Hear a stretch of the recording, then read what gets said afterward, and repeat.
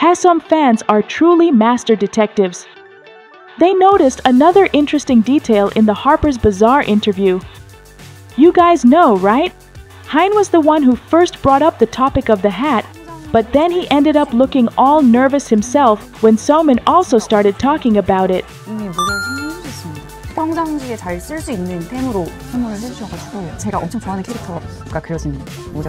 평상시에 잘 쓸 수 있는 템으로 선물을 해주셔가지고 제가 엄청 좋아하는 캐릭터가 그려진 모자여가지고 Well, as Soman said, it's so obvious when Hein gets nervous, his gestures change, and his vocabulary suddenly gets all jumbled.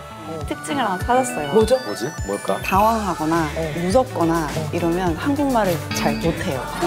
말을 좀 잃어요. 단어만 생떠오르는 단어만 이렇게 나열하는 거예요. 그래서 지금 So, could there be something behind this little moment?